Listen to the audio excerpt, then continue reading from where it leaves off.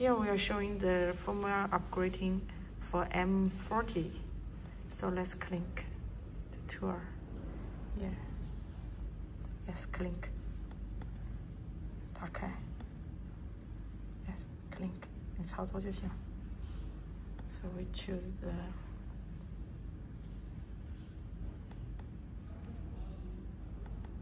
Please note that the firmware only can upgrade on Windows OS. 显点就行，你操作就行了，你不用管我说什么。So here we have to unlock the firmware first. The firmware password is AS media. So okay. So after that we confirm here. We have check here.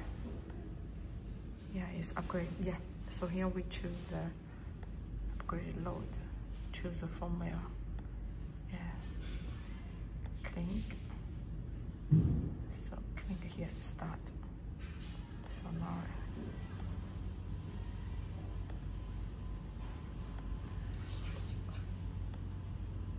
so now it's upgrading.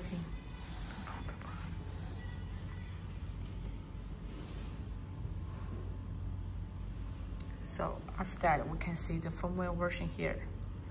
So it upgraded successfully. Thank you.